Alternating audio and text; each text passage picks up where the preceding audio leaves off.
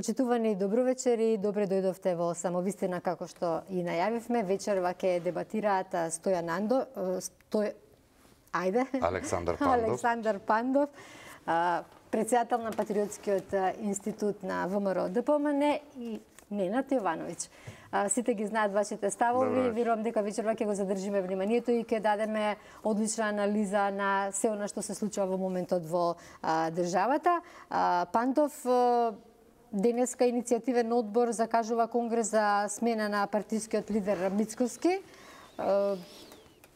Како овој пат, што ќе правите со оваа иницијатива? Како гледате на оваа иницијатива на овој иницијативен одбор закажан е за 28 март Конгресот? Благодарам за поканата да бити во емисијата. Како гледаме, како и досега што сме гледале, тоа е една група на отпадници партиски, луѓе кои што ги уживале сите погодности а, и бенефити кои што може да ги донесе политиката и политичката партија, а, било која на крајот од денот, во дадениот случај ВМРО, и а, тоа се луѓе кои што предпоставувам немал дел од нив, а, да не именувам овој или оној, кои што во минатото, додека биле на тие функции, имале криминални дејанија. Од тука тврдам дека единствениот повод, мотив а, нивни за а, во овој период да го прават ова што го прават, е под диригентската палка на Зоран Заев и одработуваат за него. Логиката е многу едноставна. Ако вие во на се ова што ни се случува, да подсетам само, немање вакцини, немање, односно правење а, реформи во образование во кое што ни една научна, високонаучна институција не ги прифаќа тие реформи. Имаме а, пат на, на, на сите табели а, и на сите ранг листи, дали е од Transparency International, дали е од Economist, дали Значи, рекорди сме по корупција, рекордери сме по се лошо што е, а немаме никакви проекти, немаме никакви инвестиции, нема ништо што е добро што би можело да се пофали, тие луѓе од позиција на опозиција, они така се декларираат, а, им смета ВМРО сега, им сметал Мицкоски, а, Добро, но дали е проблем еве да се одржи конгрес да се провери еве да кажеме довербата Апсолутно е проблем, е апсолутно е проблем. Сега ќе ти кажам зошто. Да... Сега ќе ти да, кажам да. зошто е проблем, а, Бети. Затоа што самиот чин на организирање на, на конгрес е не мала работа. И јас колку што сум во тек и сама а, а, партијата почнува а, редовниот конгрес е ноември-декември оваа година. Сега почнува веќе со подготовки, затоа што има комис, има многу работа околу тоа да се организира конгрес. И сите структури на партијата, сите тела на партијата се сконцентрирани само кон една единствена цел, како да се разобличи до крај да се разголи оваа штетна политика која што ја води Заев и да се добијат предвремени парламентарни избори заедно со а, локалните избори. За жал, повторно ќе кажам, постојат луѓе како оваа група сега иницијатори на на конгрес а, што се нарекуваат кои што не го гледаат тоа така, туку не го гледаат Зоран Заев и СДС како проблем, го гледаат Христијан Мицковски, раководството и ВМРО ДПМН. А, немам ја што да кажам друго, о, а, конечно, да. конечно уште ова што би, би сакал да го потенцирам и, и за и за вас а, тука и за гледачите, а тоа е дека а, конечно тоа е нити правно нити е статутарно. Значи, они ќе си прават некоја приватна забава, не е важно Но, каде, дали во... имаат мнозинство од делегатите, некаде околу 300, колку што Сега да не да не ве замарам ниту вас каква е процедурата за организирање на конгрес или за организирање на на на вореден конгрес, но ве уверувам дека нестатутарно и неправно издржано е тоа организирање. Од тука тоа се сведува како ние тројца сега да сме се собрале, да направиме а, како се вика собрание на акционери на Алкалуит, на комерцијална банка, на не е важно што, и да ги смениме Хари Костов или Живко Мукаетов. Дали може тоа да го направиме? Секако дека не е, дека ние би биле циркузанти.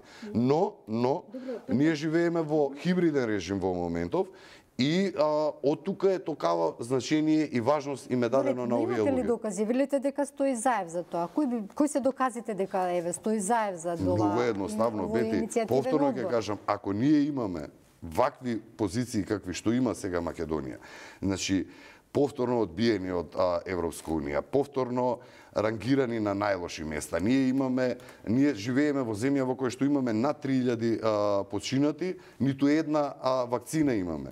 А, се е лошо.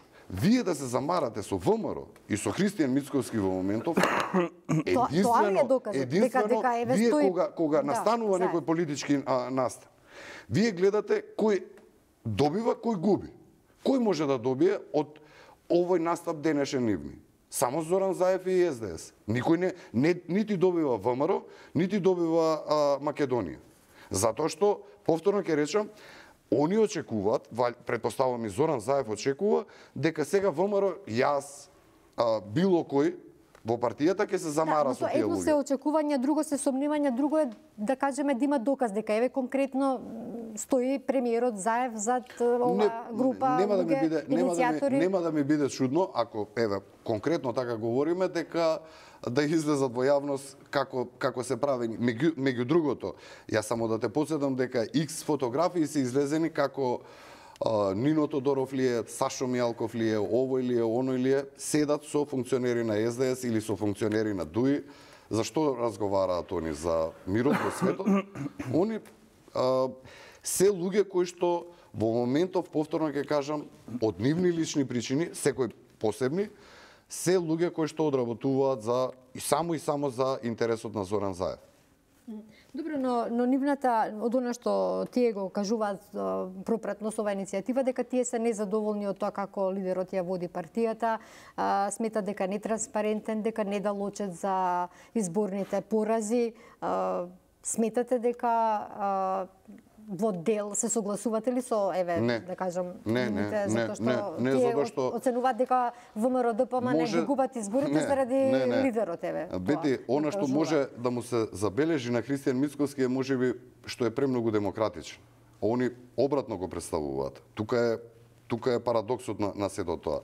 Значи има и одшет, има и се и премногу премногу се видливи работите и премногу се јасни зошто беше тој резултат како што е. Меѓу другото и они имаат придонес каков таков во во оној резултат што беше на 15 Да, јули. нели, европска Меѓутоа- пракса е секогаш меѓутоа, кога ќе се повторно да- загубат, нели, избори, да се лидерот. Ние во таа групација таму која што е, во таа групација се луѓето кои што а, оние осумина како ги нарекуваат пратеници кои што гласаа за измена на на уставот. Во то, таа групација се X луѓе кои што се со кривични вакви или онакви за повторно ќе речам минати некои а, действија. Јас не велам дека се виновни тие луѓе. Меѓутоа тоа мене апсолутно ми дава за право. Добро, тоа е дека тие твое луѓе- размислување, така, Да, на- и размислување на партијата меѓу другото. Да. А, во ред, да му дадеме сепак збори на Да. Јовановиќ. Обвинувањето на ВМРО ДПМН денеска беше дека за еве на некој начин како што вели и самиот Пандов, дека тука власта вмешала прсти, па еве зошто заедно не си одржат конгрес, нели, с конгресот на СДСМ на 21 март. Па се ако, согласувате ако, ли? не, ако ме Јовановиќ? прашувате, ако ме прашувате реално сега, а, како јас го гледам тоа пукање внатре партија, некоја класна војна која имаат една група и друга, ја го гледам тоа како една природна реакција.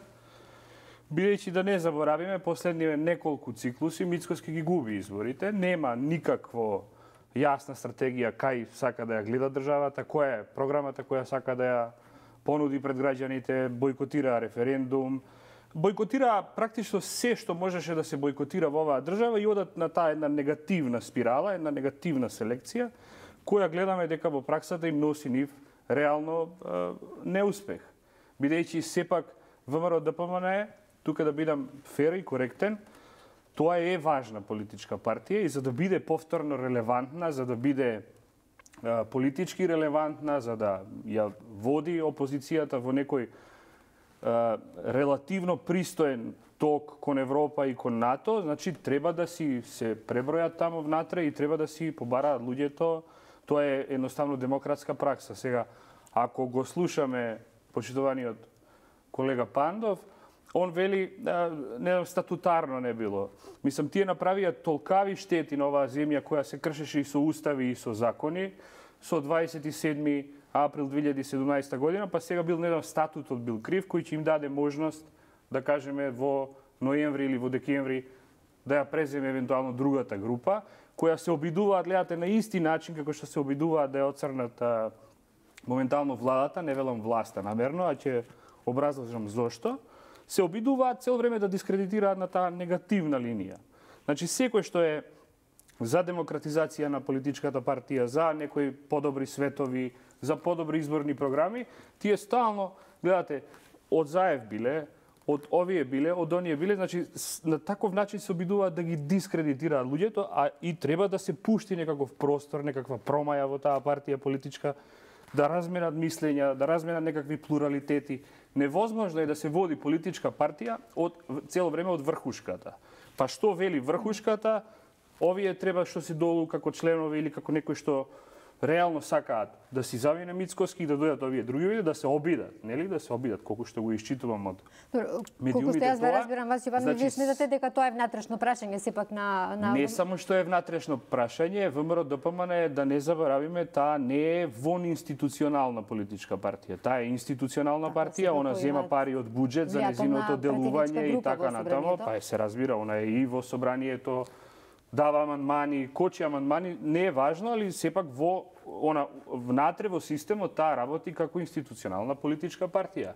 И сега фер би било ако може СДСМ да да прави при, при да кажеме апсолутна моќ да прави внатрепартиски а, избори со неколку кандидати во кои нели председател е Зоран Заев и премиер на оваа држава, значи он дозволува во собствената партија да се близко проветреа, има и други кандидати. Да се проветреа, значи би требало, па пред се предпоставува. Сакам да кажам за ВМРО да помне, значи нека се дозволи та, тој плуралитет и нека се види, нека се изборат малку околу концепти и идеи. Не мора цело време да е да е тоа со негативна селекција. Нека им дозволат на луѓето да видат што имаат да понудат, како имаат да понудат и тука нека се такмичат малку, нека се нека се нека се борат за своите политики во кои веруваат. На крајот од денот реков и пак ќе кажам, ВМРО ДПМН е политичка партија која е важна за општеството, али во овој момент е, дл, е длабоко компрометирана.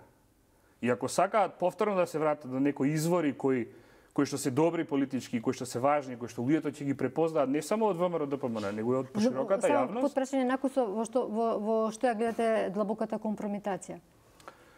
Па во незината историја во овие 10 години, бидејќи да не заборавиме, тие се луѓето на Никола Груевски.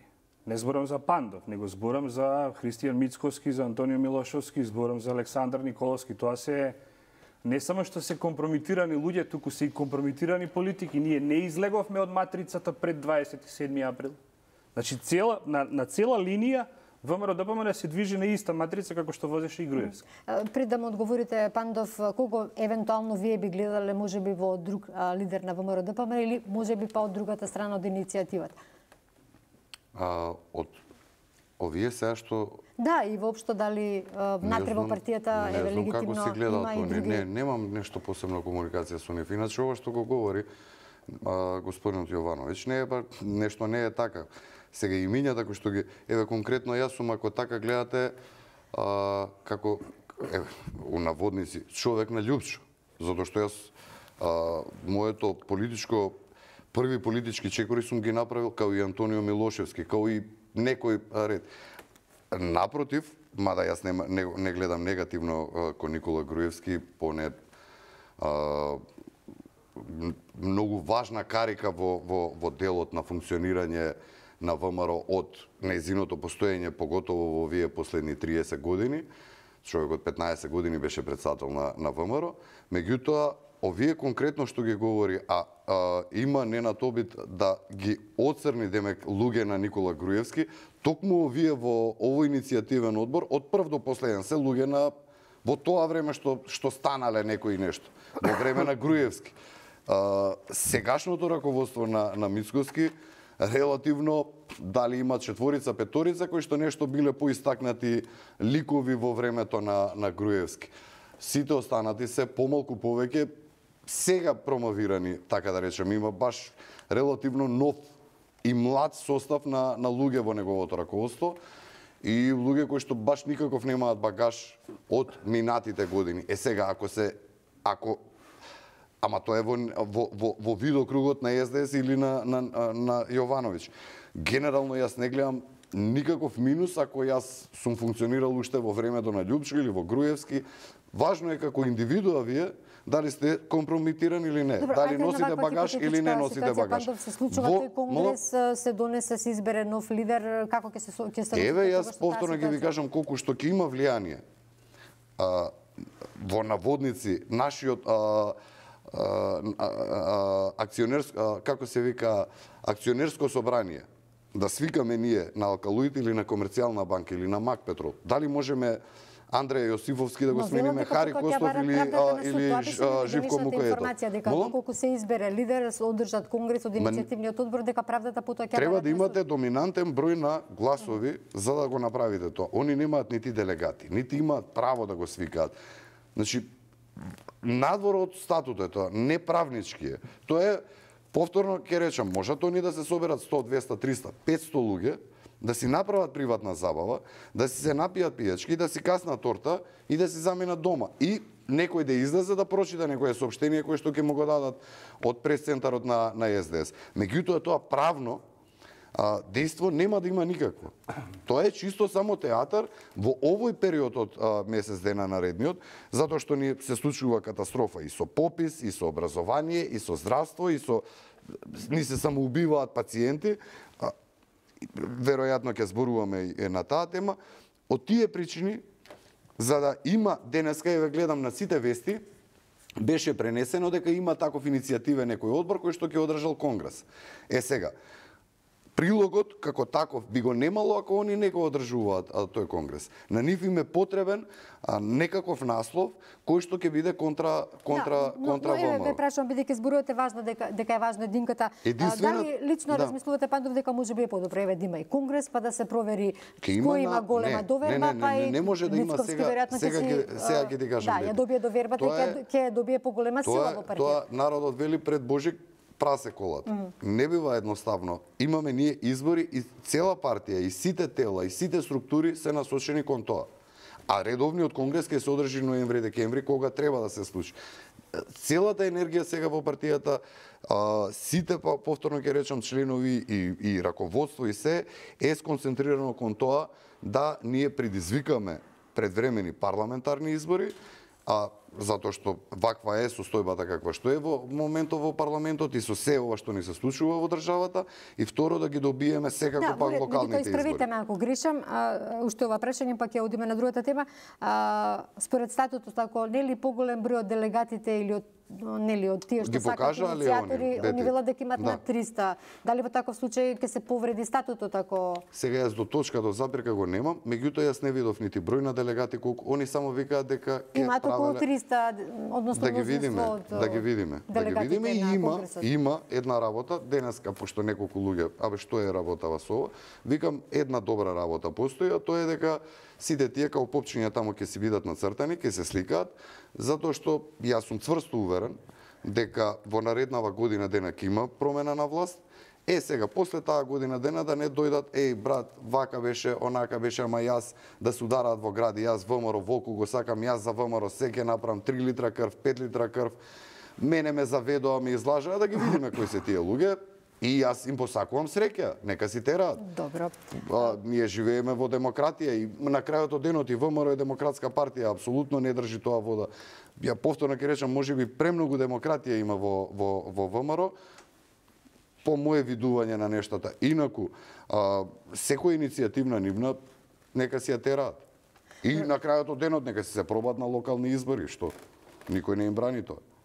Добро, веројатно. Ако се чувствуваат Па, силни. Со иницијативата за конгрес веројатно е дека би сакале како ВМРО да помене препознавате ли некој еве сега ако од од тие иницијатори што би сакал да дојде на лидерското место на ВМРО да помене се еве ве прашувам. Од иницијаторите? Па да. Па нели кажуваше а, Митко Јанчев дека се гледа како нов председател. Еве сега Добро, гледајќи го го кажа тоа јавно, не е па ништо Кавадарци па спорно, ми да, текна. добро, меѓутоа, дали- Е па валја не не знам, не знам дали е он, пошто јас колку што сега да не премногу време им дадовме, меѓутоа јас колку што знам тие не се единствени таму. Неколку групи се кои што едни со други баш не се толку мирисаат факт е дека и едната и другата и третата не благонагло а, надежно не гледаат кон а, Мицкоски и кон ВМРО во моментов и раководството на партијата, структурите на партијата, меѓутоа тие не се единствени таму имаат различни видувања и сега се спомнуваат имиња. Ке, ке слушнеме, ке видиме. Меѓутоа, тоа е приватна забава. Тоа не е, тоа е надвор и од правниот и од статутар, а, од статутот, надвор од политиката. Они се знаат се што прават. Едно е важно. Ова секој ден нека си го постави прашањето. Во чив интерес е? Дали е во интерес на ВМРО ДПМН и Македонија или е во интерес на Зоран Заев и СДС? Па, замени на тези, мислам, секогаш е некој некако фатум околу Мицкоски. Значи, или е во интерес на ВМРО ДПМН и Македонија, или е во интерес на Зоран Заев. И сега им даваат две нијанси, а притоа внатре во политичката партија, мислам, ако го исчитувате добро во зборувањето, е се недемократска партија. И тоа, вака ќе ми простиш на ваков начин што го зборувам, значи секоја политичка партија мора веќе кога губиш во низа едни избори, други избори, трети избори, кога кажуваш дека само што не сме им земале на СДСМ 2, 3, 4 пратеника, луѓето гледаат. И не се работи сега дали Митко Јанчев имал желба да биде лидер на ВМРО да ДПМН, ако добро го читавте и го слушавте пред некоја ден во интервјуто, рече дека они сакаат некаква хоризонтална поставеност. Значи, не, не одат на тврдо партиско лидерство, него сите се лидери во тој блок на ВМРО да ДПМН и се обидуваат само да ги поразат штетните опозициони политики на Мицкоски, бидејќи не вродуваат со плод. Да, добро, но за себе само подобро би било ако е така да остане Мицковски, нели? Сега Како јас што вели премиерот Денис Не, само одговарам на повтор на пат- прашањата, да, ја не сум во опозиција сега на лидери на СДСМ, па да одговарам што нив им Не, одговара, а, него само Ваше даваме на размислување, чиста тогаш реакција подобро на за СДСМ во таков случај. Чиста, ма не, за СДСМ видете, за СДСМ све е добро. Бидејќи владава оваа влада во моментот, сега ќе рипнеме од таа тема и ќе кажам нешто многу многу важно и многу битно. Според мене ја мислам дека оваа генерација на политичари сега што што се во владата на Заев и што се активисти, некои писатели, колумнисти што гравитираат и кои имаат нека добронамерност према политикиве на, на, на владата на Заев, е прва генерација која има шанса да ги реши сите политички прашања. Од Преспа договора, значи нема повеќе играње на такви силни наративи, значи ги решаваме е, проблемите со соседите, значи преспе решена, влеговме во НАТО, имаме шанса после март да го решиме и спорот со Бугарија. Некои оптимисти велат дека после изборите во Бугарија, 6 месеци после изборите со Бугарија, има шанси да го решиме а, спорот со бугарите. При тоа ги гледаме тоновите се омекнуваат, да не заборавиме се, јас тоа така си го тумачам, не сакам да изигравам ни, ни некаков геостратег, него само чисто Да, добро, си, да, си, си така нафрлам она ми, мисли, кои а, ни одат во прилог нам на Западниот Балкан, бидејќи се смени политиката која беше лоша и одвратна во Соединетите Американски држави, да не заборавиме дека Европа има една членка плюс која не е од Европа, се викаат Соединетите Американски држави и факт е дека они ќе имаат некое посилно влијание на Балканот, кое нас ни одговара, бидејќи политиките на Зоран Заев и оваа влада, намерно не велам власт, ако сакате може да влеземе во, во тие дискурси да, да, да објасниме зошто мислам дека ова не е власт, туку е влада, демократска, избрана на избори, на, на последниве 3-4 а, избори. Само да кажам за, за Бајден, и ми се чини дека политиките кои он ги заговара на инаугурацијата ги слушав се идентични со политиките на Зоран Заев. А, може сега ова да звучи како бласфемија, може да звучи како бласфемија, но може да влеземе во дебата бидејќи да ви слушна да значи, инклузивна, значи инклузивна е, вклучувачка е, се однесува добро со малцинските групи, бара помирување со комшиите и тоа се едни од најважните стратешки интереси на оваа земја. При тоа и во Америка. Ако го читавте на и го слушавте Бајден на инаугурацијата, ги велеше дека ќе ги зајакниме сите а, билатерални односи со сите земји и трговските војни што ги предизвика Трамп, ќе ги зајакне. Да речеме Да, со Канада, познато да, познати со Франција, со да- Германија да и така натаму. Значи. Идентични се политиките. Значи таа е таа демократска, Да, е прогресивна, поентата. лево либерална Имам едно подпрашање тука, Јовановиќ. Да. Со оглед на овие позиции што ги застапувате, да. дали се сметате за еден од интелектуалците кои што гравитираат околу Заев и дали може би се гледате некаде? А, ако ме прашувате лично, интимно, јас не гравитирам околу Заев и околу владата на Заев, ја гравитирам околу мојата куќа и до работата. Тука гравитирам, значи гравитирам во Кавадарци. А све што зборувам во јавност, се, се што пишувам во јавност, себе си не се гледам а, ни како шефче, ни како министер, ни како некој човек кој ќе решава некакви ресори, ќе располага со некакви буџетски средства и пари, не. Мојата позиција е оваа позиција која сам си ја стекнав, тоа е јавно зборување, говорење, пишување, читање и борење за некакви легитимно, вредности. легитимно секој да има Ништо друго надвор од ова, Кога го додека- споменавте Бајден, да, Да, чисто... не ме интересира. Мгм, Значи ова се А, така. ова сум го пишувал многу. Кога зборувавте за Бајден, Да. за неговите политики, не мислите дека а, малку некоректна беше она честитка на Бајден до српскиот председател Вучит, каде во честитката меѓу другото му, му вели да се признаат меѓусебно со Косово, нешто што, например, Трамп пак не го направи во целиот негов мандат. Па добро сега. Иако малку контроверзна беше онаа средба каде што беше нели Вучич седнат. Па добро, сега видете, а, движењето на државите кон запад ги детерминира и НАТО алијансата, значи тоа е исто една важна компонента за секоја геополитика, значи ако влегуваш во НАТО, тоа значи дека земјата ја движиш кон запад. А горливиот проблем на Балканот бевме ние, помалото, како да кажам, помалото горливо зло бевме ние со договорот од Преспа и се надевам дека и со договорот од Бугарија ќе го решиме. Вториот, односно првиот, односно последниот пункт околу кој ќе се воспоставува или се гата или се мисли дека ќе се воспостави мир на Балканот е решавањето со косовското да, но, но, прашање. но во една че- честитка за Па, пригодна за па добро сега видете, тоа се ви велам. Во време на криза Вучич реагира малку антиевропејски, бидејќи сепак неговото членство е, како да кажам, част е прозападно, част е До, но Прос- Европа му честита токму околу вакцинирањето, нели први се во Европа. Па добро, така сега први се во Европа, сега тука на е посложена малку читавме. приказката да, да околу тоа, да али должиме, сепак, сепак во да се секој вратиме на случај домашните, дека последниот пункт ќе биде решавањето на косовското А, прашање. и, ам, и американската амбасадорка Бернс во однос на последниот извештај на Transparency International, владата толерира корупција, треба да се почне со очетност. А, опозицијата ја обвини владата дека тоне на секој план, па и во делот на, на корупцијата. Не знам дали сега тука ќе се согласите околу ова прашање. А, сметате а, како Македонија да се справи со таа растечка корупција? Ве паднавме на тој индекс за, за перцепција на корупцијата. Бете ја повеќе пати го имам зборувано ова, иначе само а, мала дигресија да направам околу ова. И, а, а, бил антизападен, бил Ваков, источен бил а, Вучич. И, а, минатата недела имаше а е честитката од Бајден, него имаше а, се, а, директна комуникација со кинескиот председател, со рускиот председател и приватен прием кај францускиот Да, председател. Да. За какви разлики говориме? А, па бил а, членка на ЕУ, не била членка, била членка на НАТО. Ние се сеќаваме дека во време на Груевски исто такви имавме отворени врати, во кои што македонскиот а, премиер во тој Добро, период не е членка на комуницираше- НАТО, секако, да, нели, а, Србија и без членка да бидеме на НАТО, имавме комуникација со секоја една земја и беше нормално за нас. Сега а, премиерот Заев мислам дека година две нема воопшто нема рака пружено со некој поозбилен политичар. Но а, зашто беше прашање? Зборуваме за, за...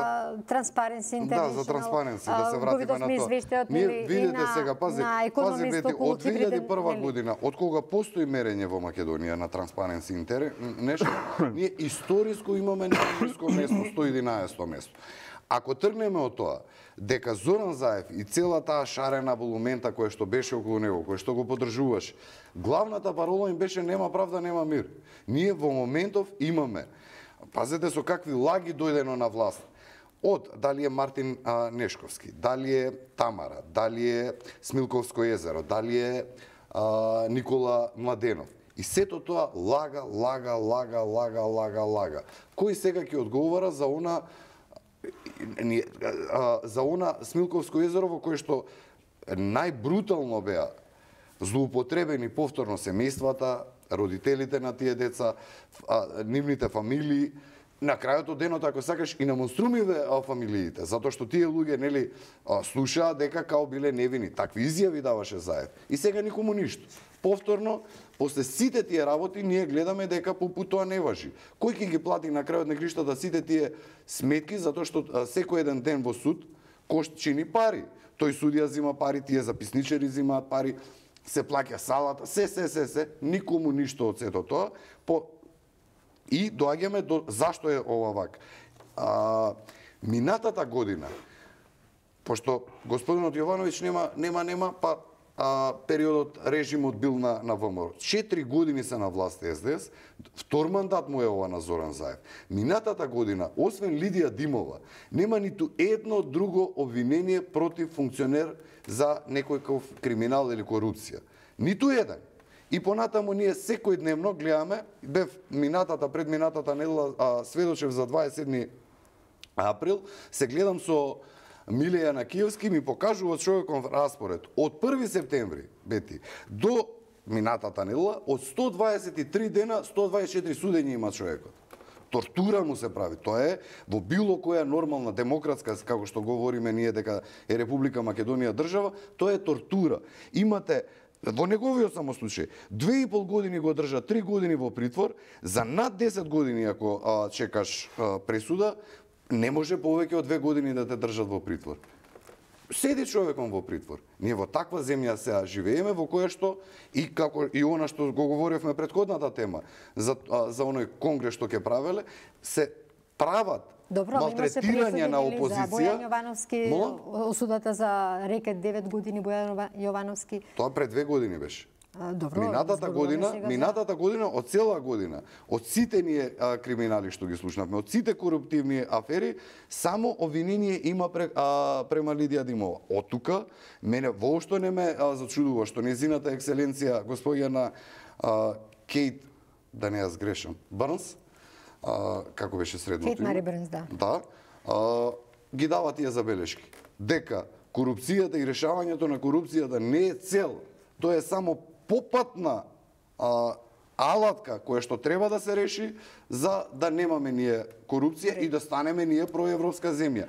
Од тука ние постојана полна име устата на, на, на СДС, на Заев, еу, еу, еу, еу. Во сите тие такви табели, ние ако сме биле трети како атрактивна земја за инвестиции, сега не сме во први 50. Ако сме биле на 60 место а, по, по степен на корупција, сега сме на 111 место.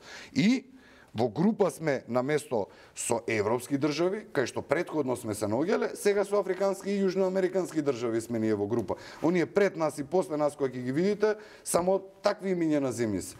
Од тука, повторно ќе речам, а, ова што ни се случува сега во моментов е потполен распад на системот во кој што немаме а, правосудство, немаме образование, немаме здравство, немаме едноставно ние сме држава која што дотаму дојдовме, не сме ни полупротекторат. Да, но пред кога зборувате да, протекторат. на, на некладината тоа... на Бојан Јовановски но... за Ременски кога зборувате нели за корупцијата, да. Зашто за во делот на нели зборувате дали стигнала правдата? Па не стигнала правдата, јас тоа говорам дека нема случаеви и понатака а, вестите и информа, информациите се за обвинети ВМРО-вци кои што Пазете, повторно ќе речам, 4 години се веќе владење. Еден единствен функционер не видовме ние обвинет, осуден нивни. Ако Бојан Добро. Јовановски го рачуна за функционер нивни, тоа е друго. Добро, воопшто говориме за криминал, така нели? Тоа беше независно... обелоденето не по нивна желба, они не го открија тој криминал,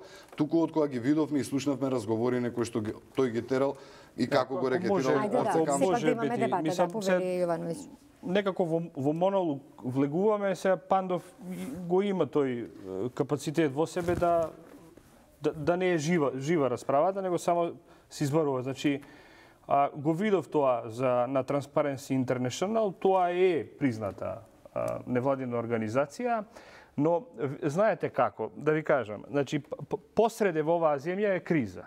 Таа криза е политичка, таа криза е економска и некој да ме убеди дека во 2015 година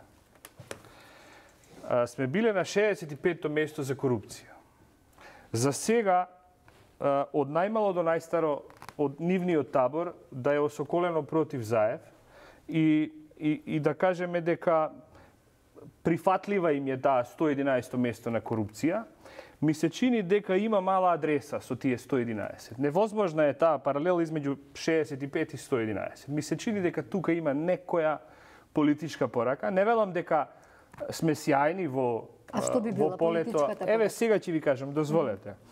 Малку истражував, се ја по природа сум љубопитен Од човек. кого? Од ВМРО е пораката или од Транспаренси? Од Transparency International има порака кон владата на Заев. Има политичка Имаше и од адреса. Амбасадорка на американска. Има политичка адреса. Во тоа се збориме за Transparency International. Инаку се разбира дека треба да се беше незината. Инаку треба да се работи уште повеќе, да не заборавиме дека сите случаи од СЈ треба обвинителите а, и луѓето кои што работат во обвинителства суди да си ги процесуираат сите оние а, досиеа, сите оние пресуди од СЈ. Значи се тоа треба да се пресуди.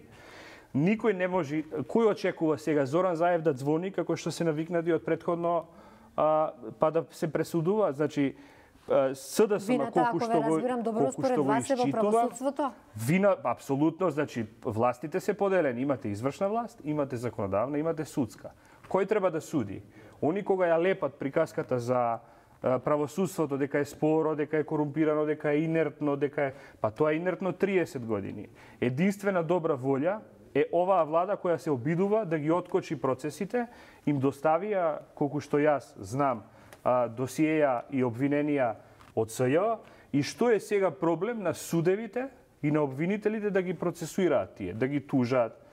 Па се, се она што оди во тој правниот систем. а, значи натаму оди на БНС ви вели Океј, луѓе борба разбирам. против корупција е Разбирам. со сегашни функционери, Борба не е за против за корупција са и оси го тера сложува. случајот. Меѓутоа што да е со сегашни? дека системските Тоа е проблемот, не е не е проблемот СЈО. Е, Системските решенија на овие, оваа држава не се од вчера. Значи, системските проблеми на оваа држава се 30 години. Единствено оваа влада, потенцирам оваа влада, има тука записи, ќе, единствено оваа влада се обидува да ги осоколи луѓето кои што се обвинителство да ја работат својата работа за кои се платени. Значи нема повеќе тефтерчиња, нема повеќе Немој, не, пресуди не. Еве, и така ше- натаму. Што се однесува до, до Transparency Ти- International, малку истражував, за да ја наполниме малку со содржина а, дебатата. Transparency International работи и уште со неколку алатки, дозволете да ги кажам. Не е само со корупција. Работи и со наблюдување на транзицијата. Работи и со а, собствеништвото на медиумите. Од каде влегуваат пари, како се даночени, а, работи исто така и со тргување на информации помеѓу помеѓу телевизиите и политичките Добро, партии. во конкретниот изв- за Transparency конкретниот International работи исто така и со финансирање на политички партии.